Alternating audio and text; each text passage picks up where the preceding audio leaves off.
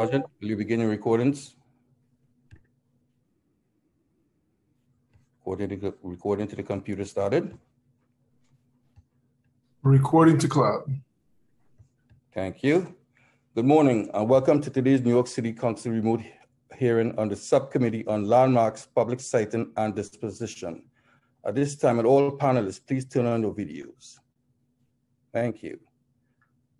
To minimize disruption, please place all electronic devices to vibrate or silent mode. Thank you. If you wish to submit testimony, you may do so at land use testimony at council.nyc. I repeat, land use testimony at council.nyc. Chair Riley, you're ready to begin. Good morning. I am Councilmember Kevin Riley, Chair of the Subcommittee on Landmarks, Public Sightings, and Dispositions. I am joined today by my colleagues, Councilmember Koo and Councilmember Treyger. We will vote to approve with modifications LU numbers 889 to 893, Cooper Park Commons. These applications request approval of a proposed amendment of the zoning map changing an R6 district to an R7-2 slash C2-4 district. An amendment of Appendix F of the zoning resolution to designate a mandatory exclusionary housing area. The grant of a special permit pursuant to Section 74-743A2 of the zoning resolution to modify height and setback requirements, the minimum distance between buildings with a large-scale general development, the designation of property located at 288 Jackson Avenue, Block 2885, Lot 1, as an urban development as an urban development action area, an urban development action area project for such area and this I'm sorry, I'm sorry, Councilman. Thank you, Councilman. And the disposition of such property to a developer selected by HPD and the modifications of a prior disposition of city-owned property located at 20 Kingsland Avenue, block 2080, um, excuse me, 2885, lot 10, to change the permitted community facility used for a healthcare facility to use to general community facility uses. These actions will facilitate the redevelopment of the 4.5 acre former Greenpoint Hospital campus in East Williamsburg into Cooper Park Commons, a mixed use complex with the two new buildings and the enlargement of the two of the historic former hospital buildings provided approximately 553 units of affordable and senior housing, community facility uses, and light retail and the on-site replacement of the 200-bed Kleeman Residence homeless shelter. The council's modifications will remove the MIH option two and add the deep affordability option and revise the design of the public the public accessible area to reduce parking and vehicle driveway areas and increase open space and pedestrian safety. The project is located in the district represented by Councilmember Reynoso. We will vote to approve the modification LU numbers 848 to 851 related to the Glenmore Manor project submitted by the Department of Housing Preservation and Development. These applications request approval of amendment to zoning map sections 17C and 17D, changing from an R6 district to an R7A-C2-4 district and changing from an R6 district to an R to an R7D slash C2-4 district. Amendment of the zoning resolution modifying Appendix F to designate a mandatory exclusionary housing area, designation of an urban development action area, approval of an urban development action area project, for such area and approval of the disposition of property located at 305-309 Mother Gaston Boulevard, 46-64 Christopher Ave, and 111-117 Glenmore Avenue to a developer of HPD's choosing, and approval of the third amendment to the Brownsville Second Urban Renewal Plan to change the designation of Site 11B from public institutional use to residential use, The proposed actions will facilitate the development of Glenmore Manor, an 11 story mixed use building with approximately 232 affordable housing units and 8,600 square feet of commercial and community space as an entrepreneurial hub for the local business and nonprofit incubation. We will vote to modify the application by striking MIH option two and adding the deep affordability MIH option.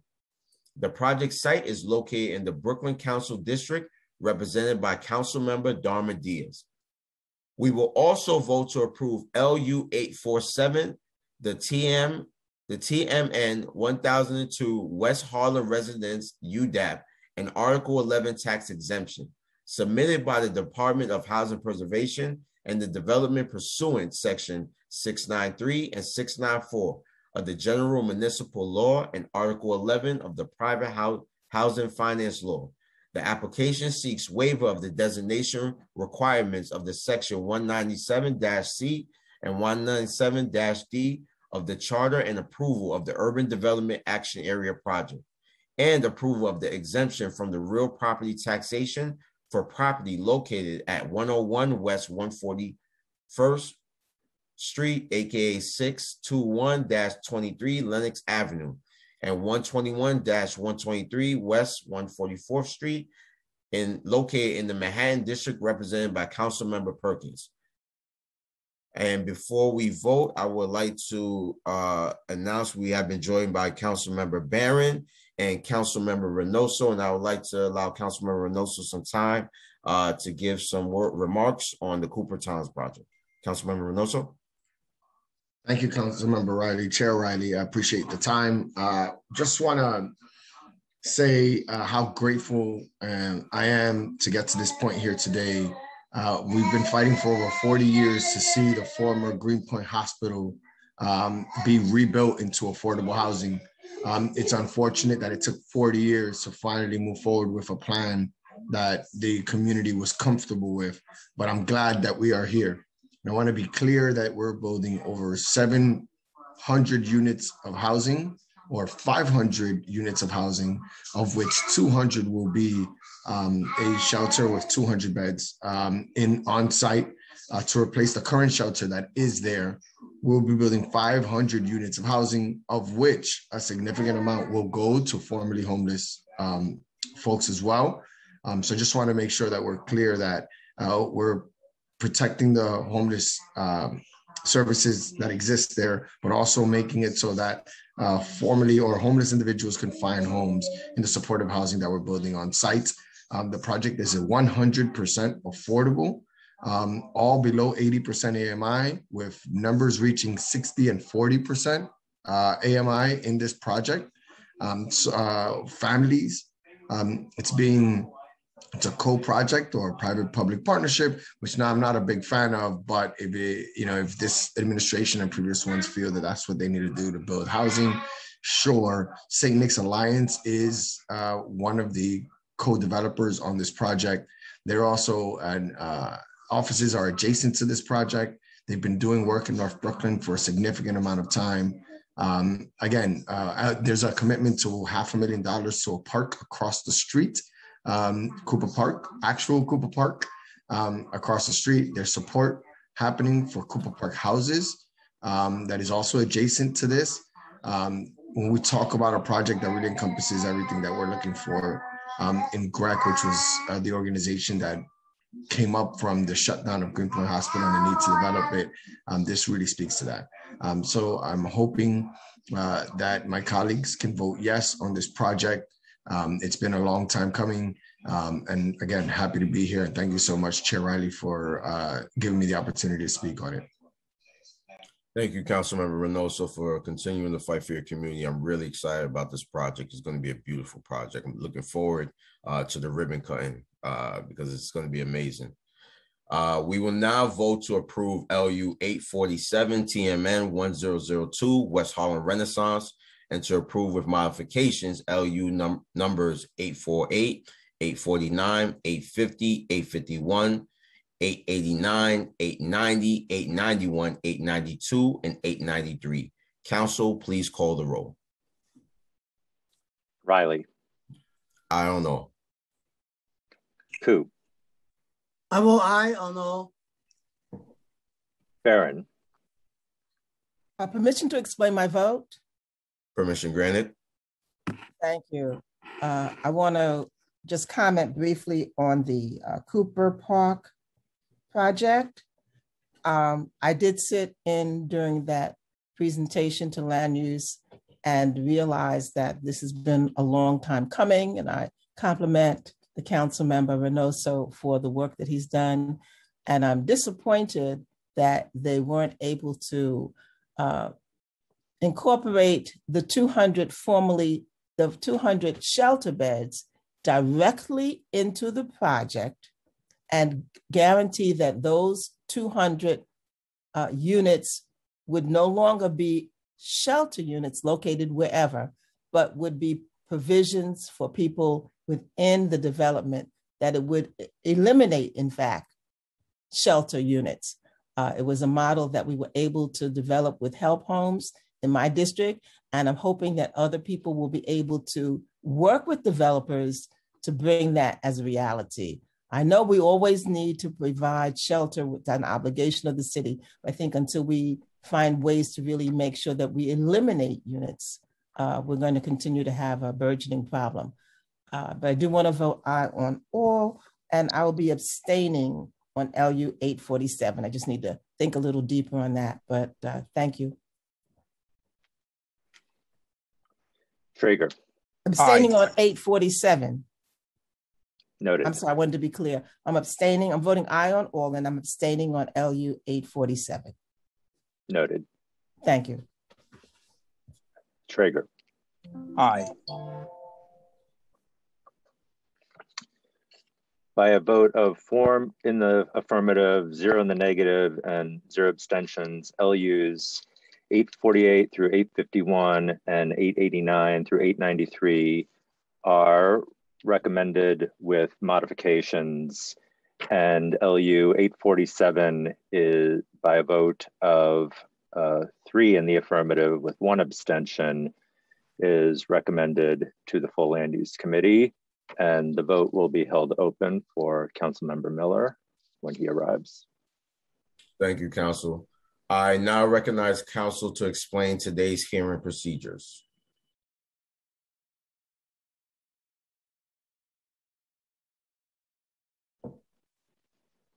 Thank you, Chair Riley. I'm Jeffrey Campagna, counsel to this subcommittee. Members of the public who wish to testify were asked to register for today's hearing.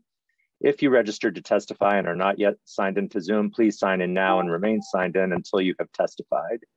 If you wish to testify and have not registered, please go to www.council.nyc.gov slash land use to sign up now.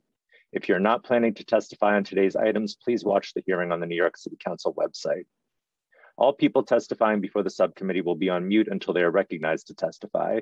Please confirm that your mic is unmuted before you begin speaking. Public testimony will be limited to two minutes per witness. If you have written testimony you would like the, sub the subcommittee to consider in addition to or in lieu of appearing before the subcommittee, or if you require an accessible version of a presentation given at today's meeting, please email land use testimony at council.nyc.gov. Please indicate the LU number or project name in the subject line of the email.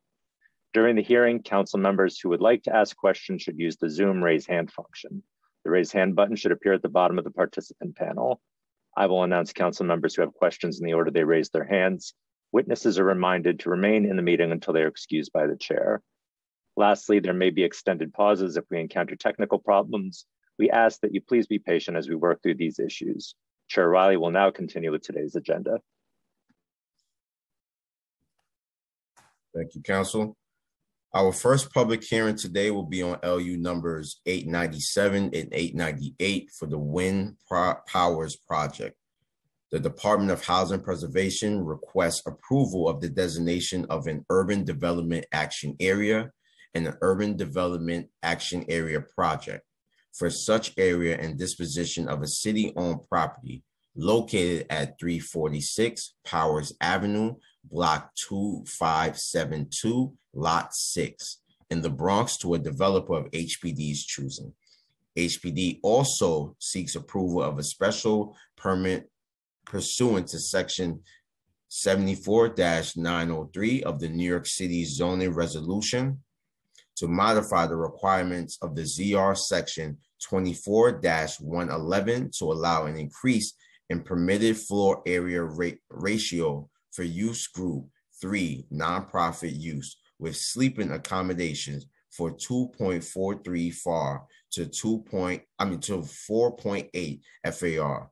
These actions will facilitate the, the redevelopment of a city-owned site with two new community facility buildings, including a permanent supporting housing facility containing 221 units for families with children and an off-site daycare center and a new homeless shelter building with 95 units. This project is located within the Bronx Council District, represented by Council Member Ayala. Presenting for the applicants, we have Ted Weinstein on behalf of HPD. We have former City Council Speaker Christine Quinn on B, WIN Chief Executive Officer. Two one two six nine. No, no, uh, excuse me, Chair Riley, uh, Christine Quinn will not be here. Okay, okay. And Megan Linehan for Women in Need. Erin Drinkwater for the Department of Social Services, and Christine Wholesome, student if I mispronounce your name, for a Lever, Lever Consultant, LLC, and Alan Mohadam for Urban Arch- Architectural in- Initiatives. Counsel, please administer the affirmation. Please raise your, raise your right hands and in turn state your names. Please unmute yourself. Please accept the invitation to unmute.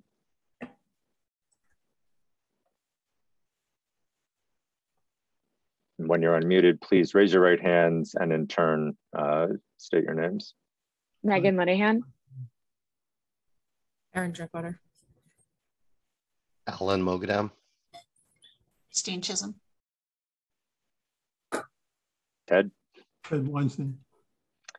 Do you affirm to tell the truth, the whole truth, and nothing but the truth in your testimony before the subcommittee and an answer to all council member questions? I do. I do. I do. I do. Thank you to all the applicants. You may begin your presentation. Good morning, Chair Riley, council members. Uh, my name is Ted Weinstein. I am Director of Bronx Planning for HPD. Uh, this morning, I will just very briefly explain the basics of this proposed project um, and then turn it over to the WIN development team uh, to talk more about themselves and about the, details of the project. This is a city-owned property that uh, is located on Powers Avenue. Um, it is currently, part of it is currently occupied by a building which is used as a transitional shelter operated by WIN through a contract with DHS. The other part of the property is undeveloped. Uh, because the building that is used as a shelter uh, is an old building, was not originally planned for that use. The proposal here is to, on the undeveloped part of the property to build a new, uh, more modern, efficient, serviceable shelter building. Um, and then when that is completed, to demolish the existing shelter building, and then at that location, build a permanent housing, supportive housing building.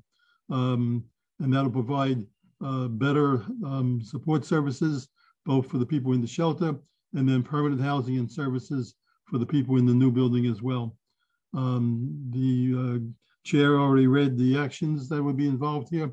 Um, so at this point, I will turn it over to Win to talk about uh, themselves and the details of the project. Thank you. Good morning, everyone. Um, first of all, I just want to apologize for Christine Quinn not being able to join us this morning. Um, she has some complications from an emergency surgery that she had a few weeks ago that needed to be attended to, and unfortunately, it was unavoidable. Um, so she sends her regrets, but very much appreciate um, the opportunity to speak with you all here today. Uh, just some background on WIN. WIN is the largest provider of shelter and supportive housing to families experiencing homelessness in New York City. Um, of the roughly 53,000 people in the city shelter system, um, about 65% of those are families with children. Um, and just some history with us on this site. So WIN began operating this site um, as an emergency provision during Hurricane Sandy. Um, it was originally the city's intake center path, um, and we've been operating it as a shelter since 2012. So as Ted mentioned, we're really excited about this project because it will allow us to have um, both a purpose-built shelter, um, so really have the space that will allow us to provide the services that we offer, um, and additionally um, some some much needed supportive housing units um, additionally on the site. So at WIN, uh, we believe in a holistic model um, that includes income building for the more than 50% of our work eligible moms who enter shelter working, um, childcare and recreation for all of our children are on site that includes a STEAM based Camp WIN programming during all school breaks and in the summertime.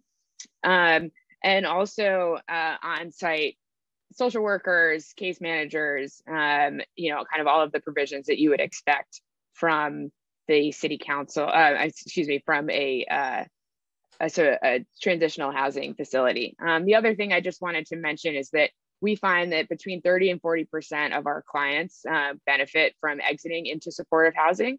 Um, it's the most stable means of exit for those families. So having this additional supportive housing capacity will be extremely helpful in um, making sure that these families remain stably and independently housed um, for the foreseeable future.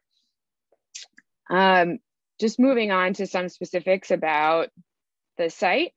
Um, Christine, I don't know if you were going to share the presentation that we have. Sorry, I wasn't, I was, thank you. That's a perfect.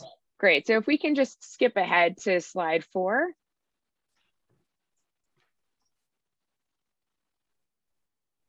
Great. So as we've mentioned, um, this site is located at 346 Powers Avenue.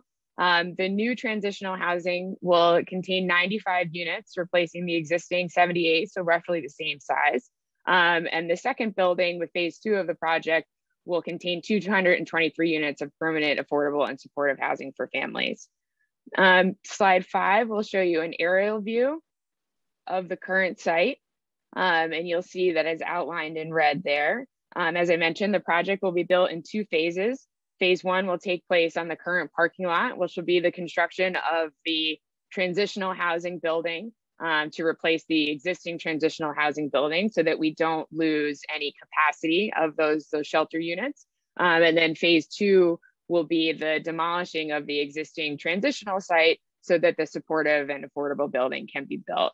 Um, slide six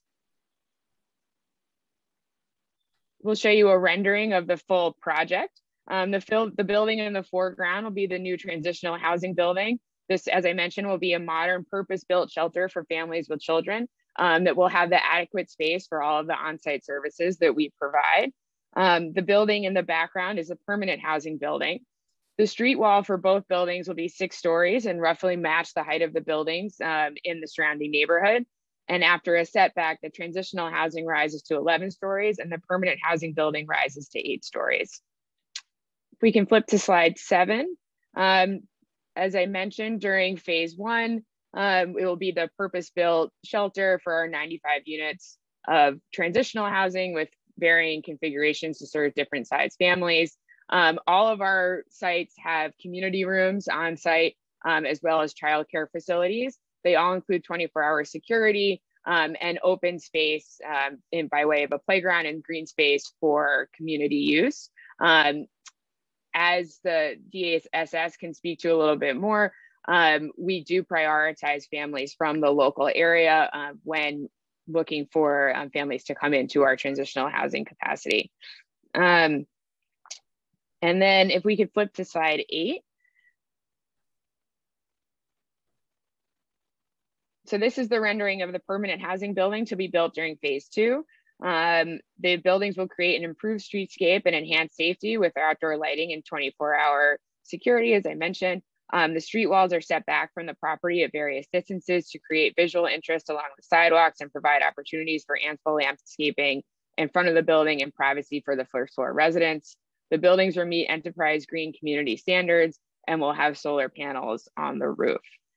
Um, for the permanent support and supportive housing on slide nine. Um, it'll be approximately 223 units 133 of which will be supportive housing units and 88 units will be available through the lottery system as affordable units to the community. There'll be two super units. Um, and as I mentioned, we will be doing community preference for the, uh, the affordable units.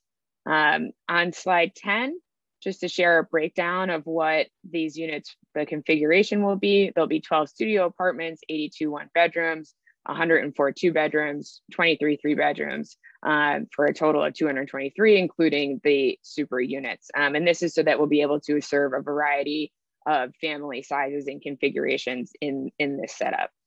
Um, on slide 11, uh, just to share that both the permanent housing building will also include a child care center for both our residents and which will be open to the community. Um, there is outdoor space, which will also be open to the community, and then a seventh floor terrace, which will be for our residents. Um, in permanent housing, in the supportive housing side of it, we do have social services on site um, and will actively seek to form a community and tenant advisory board. Um, one other thing that I just want to note is that um, with these projects, we always look to um, involve as much of the community as possible. So to include through local uh, hiring opportunities. Uh, we recently opened a, a, facility in Coney Island in Councilmember Treyger's district. Um, and due to a great partnership with him and his office, we're able to secure 34% um, of our staff are, are from that local area. Um, and again, that was through working with the council member's office and the local Workforce One Center there. Um, but that's something that WIN always tries to do with our projects, and we'd be very excited to, to have the opportunity to do here as well. Um, slide 12 will just give a, a little bit of a, an insight into what the ground floor will look like. Um, so the green area is the transitional housing facility and the yellow area is the permanent and supportive facility. Um, you'll see that both have um, outdoor space um, and their own daycare space, which will, has access to the outdoors as well. Um, each lobby will have its own security desk and main areas for the tenants uh, to connect directly with the, the large courtyard. Um, computer room and, and computer lab are also provided on the first floor of, of both facilities. Um, and as I mentioned, the daycares that will be open to the public, um, as well as our facility, as well as our tenants, excuse me, is um, located on the 142nd Street side um, of the facility and also has its own outdoor space. On slide 13, um, just some, some highlights of, of what we're aiming for for this project is really the thoughtful design, um, beautiful, well-maintained properties. As I mentioned, the local hiring for operations and for construction of the project, um, increased lighting and security around the facility, um, and both the community room and daycare center, which will be open for community use as well. Um, thank you again for, for the time and the opportunity to speak with you this morning, um, and we'd be happy to take any questions that anyone might have.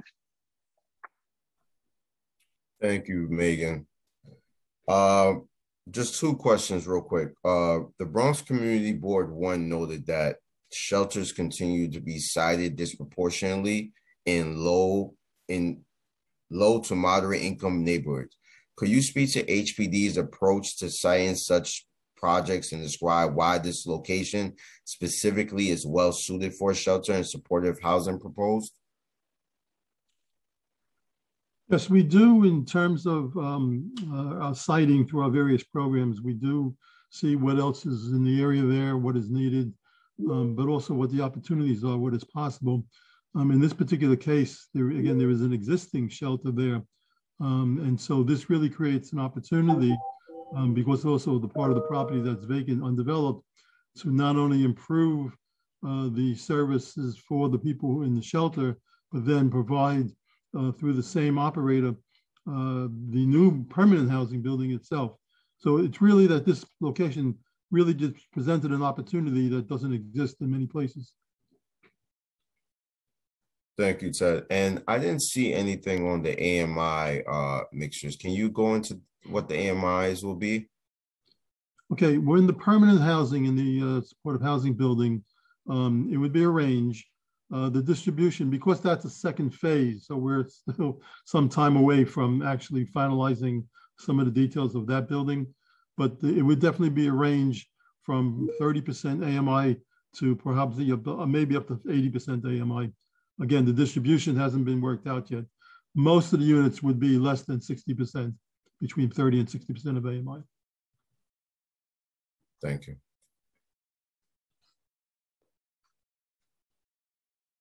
Okay, I don't see any council uh, members with any questions, so uh, that'll be it for me. Thank you all to, to all the panels, um, and you may be excused. Thank you.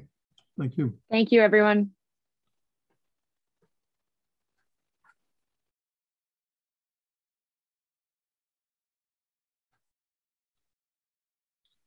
Are there any members of the public who wish to testify on the WIN project, WIN powers project? There are no, there are no members of the public signed up to testify on this item. Seeing no other members of the public who wish to testify on this- these items, the public hearing on LU numbers eight ninety-seven and eight ninety-eight are now closed and the items are laid over. The next, the next public hearing on LU number eight eight one related to La, Las Raíces project submitted by the Department of Housing Preservation and Development pursuant to section one nine seven C of the New York City Charter.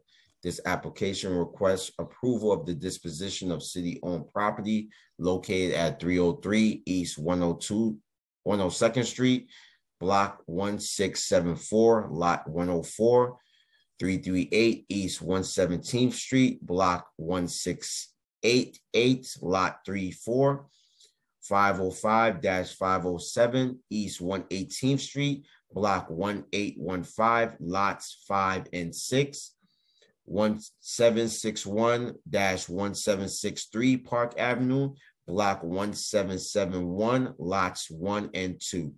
This disposition approval will facilitate the development and construction of four new affordable rental developments containing approximately eighty-one affordable dwelling units and community facility space in the district represented by Councilmember Perkins and Ayala.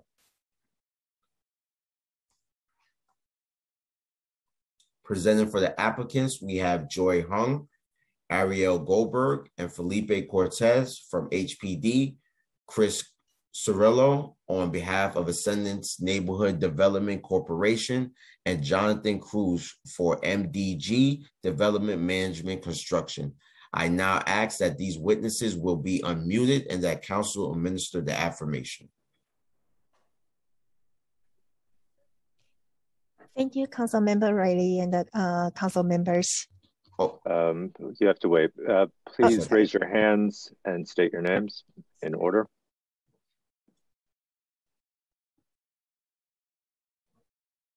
Could all the applicants please raise your right hands and state your names? Joan. Felipe Cortez. Ariel Goldberg. John Huang. Chris Cirillo. Jonathan Cruz. Thank you. Do you affirm to tell the truth, the whole truth, and nothing but the truth in your testimony before the subcommittee and an answer to all subcommittee member questions? I do. Yes, I do. do. I- I do. Thank you. You may begin your presentation. Thank you, Councilmember Riley. Uh, so I believe we have a, a PowerPoint. Thank you so much. So thank you, council members, for the opportunity to present uh, the Las Raíces project. Uh, my name is John Huang, um, the borough planner from HPD. I joined by my HPD's corner, uh, colleagues, uh, Felipe Cortez, uh, Deputy Director of Manhattan Planning, Ariel uh, Director of Land Use and the Policy, and our development partners, Ascendant Neighborhood Development and MDG Development Management Constructions. Next slide, please.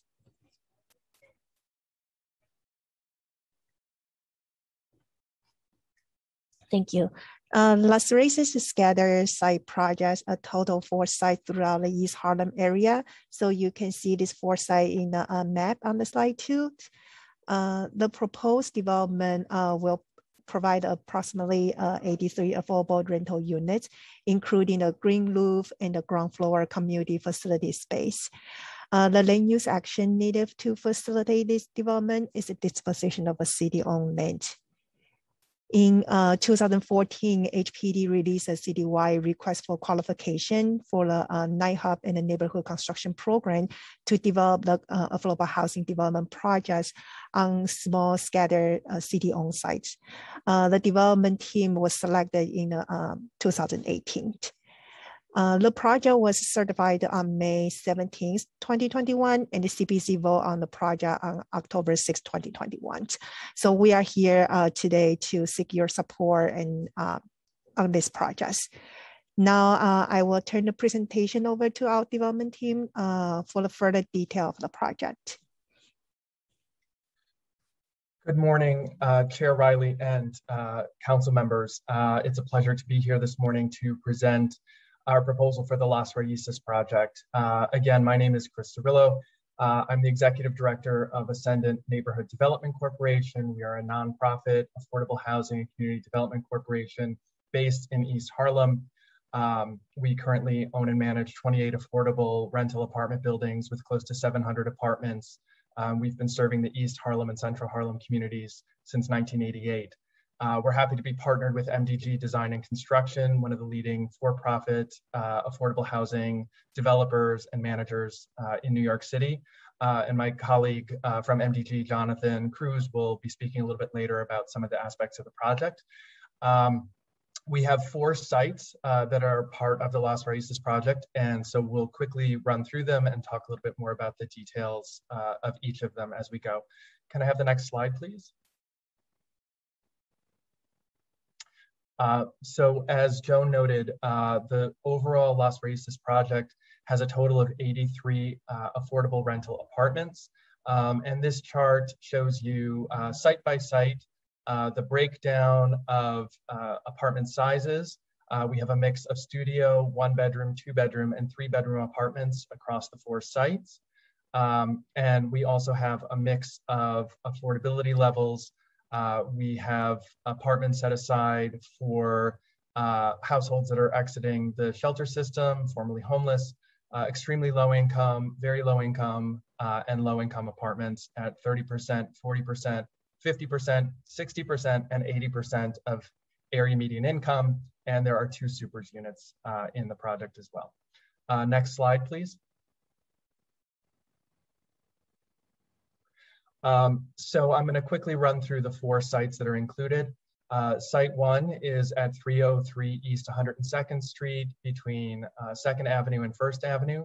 Uh, this is currently a vacant city-owned property.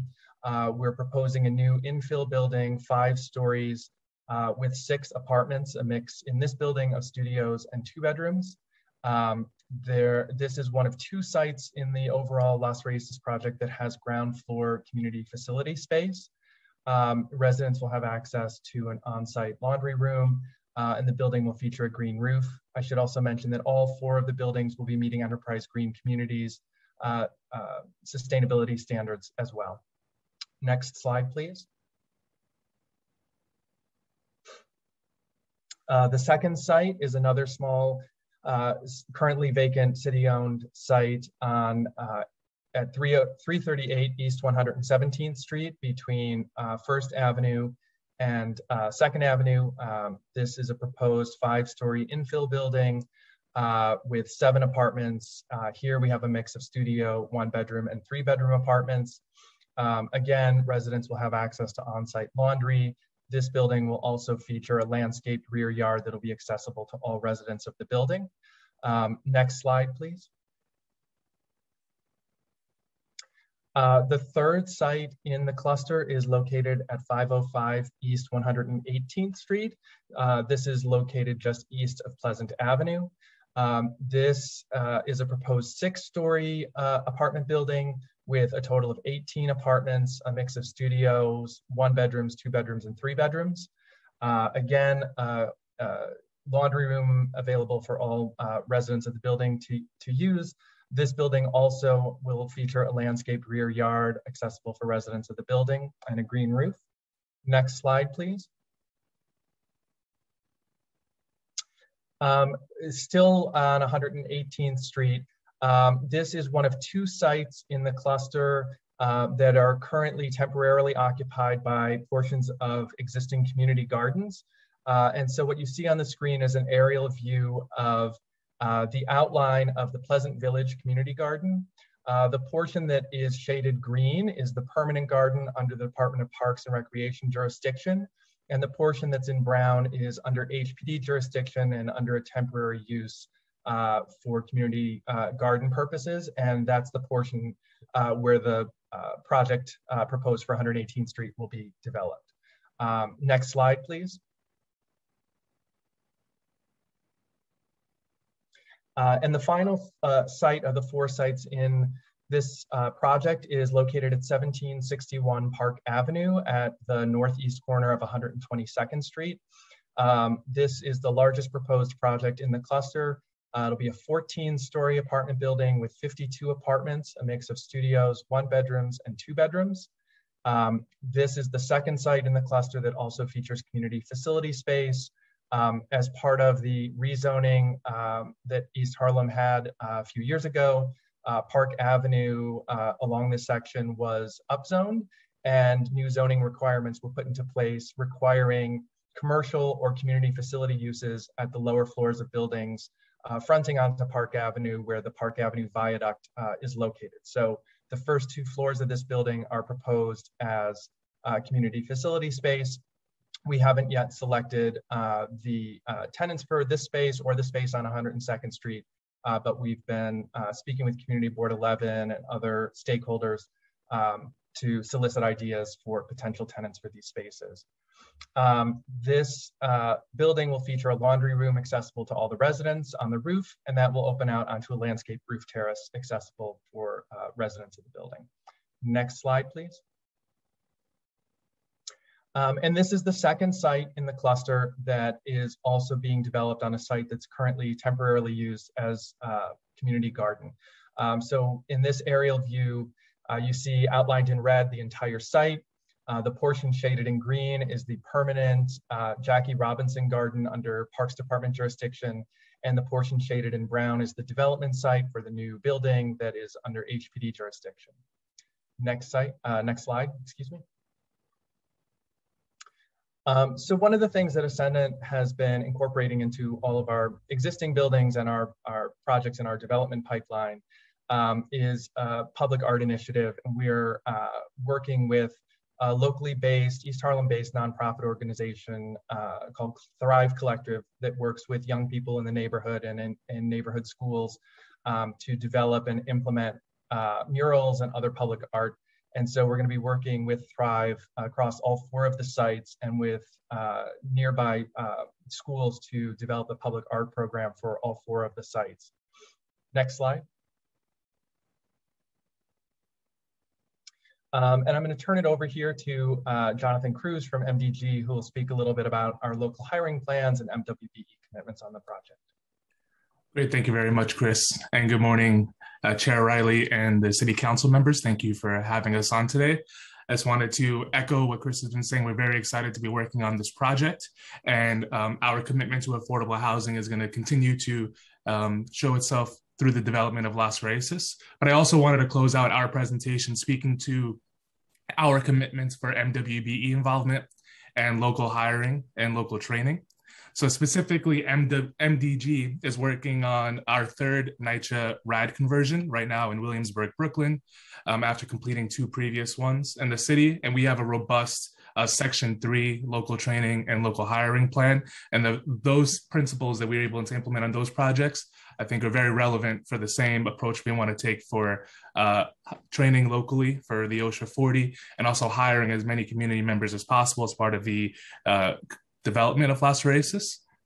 So we're going to be implementing those same principles that made us successful on our NYCHA projects, um, as well as the other projects we closed with HPD in East Harlem, which we show on the slide on the screen. Um, we also want to uh, emphasize that we have a demonstrated track record of exceeding our MWBE goals um, through our relationships with subcontractors that we worked on on our NYCHA projects, HPD projects, or NYS HCR projects, and we're going to com- commit to also exceeding the MWBE targets for uh, Las Raíces East Harlem. Um, and we all are also um, committing to, like Chris said, working with the community, with um, working with housing ambassadors um, to also make sure the majority of the uh, individuals that are able to apply um, for this in East, in East Harlem are able to apply for residency at Las Raíces when it's it is completed. Um, so uh, we are very excited about this project, and we look to continue to uh, our track record of um, MWBE and local hiring success with this project. And with that, I think that brings us to the end of the presentation. So I'll hand it back to Chris Cirillo of Ascendant. Um, next slide, please. Um, so that does conclude our presentation today. Um, as Joe noted, uh, we started the ULURP for this project in May. Um, even before ULURP, we met multiple times with Community Board 11, um, and during ULURP received uh, unanimous support from the Community Board. Uh, we've also received the support of the Borough President um, and the City Planning Commission, and we look forward to answering any questions um, that the Chair and Council members uh, may have about the project. Thank you. Thank you to the Las Raíces team for, for that presentation. Uh, just a few questions I have. Uh, a high proportion of the units in these buildings are studios and one bedrooms. Uh, how do those unit sizes align with housing needs in the neighborhood? Um, thank you for the question.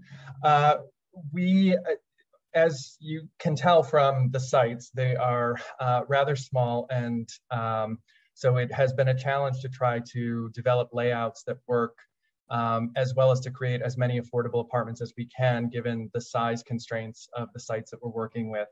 Um, you know, we've we've tried our best to incorporate as many larger size apartments as possible. Um, it's definitely a concern that has been raised um, in the neighborhood generally um, during the neighborhood planning process that Ascendant participated in a few years back, um, and with uh, this project and other projects that we have in our pipeline. And we've, you know, committed to do our best to, to create and design as many larger size apartments as we can. Um, in this one, we've looked at opportunities to potentially um, shift the unit mix a bit. Um, unfortunately, it's challenging with the financing and the size of the sites to really squeeze in any more larger size apartments without losing a significant number of overall apartments in the project. Um, but it's definitely a concern that we're aware of and we're trying to address uh, as best we can in this project and in other projects that we're developing in the neighborhood. Is any of the community garden space that's being displaced going to be relocated anywhere else? Hi, um, this is Ariel Goldberg, and I can address that. Um, we so as Chris said, um, both community gardens had what are called essentially parks protected portions. Those existed um, prior to the HPD portions. The HPD portions were offered uh, temporarily as expansion sites um, until development was ready to proceed. Both gardens were offered relocation sites, and neither garden accepted the relocation sites that were offered. They did not respond. And do we have a sense of what type of public art will be included on the facades? Um, we are still at the very beginning stages of developing the public art program here. We've been working with Thrive uh, on a couple of other of our existing buildings, and we're uh, looking at doing um, uh, similar murals. Uh, they have done a lot of work in East Harlem and around the city, um, and they usually partner with uh, uh, locally based schools. Um, and the designs are kind of generated from what the young people in those uh, schools want to see and, and how they uh, kind of view their neighborhood and what, um, what things they want to feature in the artwork. So we're looking forward to that. Um, one thing I didn't mention is um, part of the reason that we're um, looking at, especially um, on the 118th Street building and the 117th Street building, um, those two sites are located within the floodplain. And so because of that, uh, we don't have basements in those buildings. We have some ground floor mechanical space that uh, uh, we have to accommodate uh, in order to raise it up out of the flood zones. And so that's creating a situation where we can't have apartments um, on parts of the ground floors of those buildings. So it, it creates some blank walls. And we thought that one way that we could address that through the design of the buildings was to incorporate spaces for public art that would help to enliven and enrich the streetscape. So um, that's part of it, um, but also uh, we're trying to uh, kind of expand our public art portfolio across our whole, uh, our, all of our buildings. Thank you. Thank you, Los Raíces, for your testimony. Uh, I don't see any council member um, with any questions, so this panel may be excused and you all enjoy the rest of your week, okay? Thank you. Thank you so Thank much. you so Chair Riley. much. Thank you. Have a you. good day. No problem. Counsel, do we have any members of the public who wish to testify on this project? There are no members of the public signed up to testify on this item. Seeing no other members of the public who wish to testify on this item, the public hearing on LU eight eight one is now closed and the item is laid over. That concludes today's business. I remind you that if you have written testimony on today's items, you may submit it to land use testimony at council.nyc. Excuse me, you have to close the vote. Oh, so sorry, I forgot Councilmember Miller up.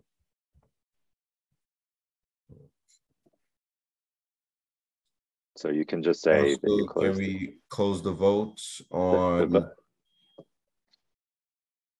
vote is now closed, uh, as stated earlier, with the vote standing as uh, stated earlier.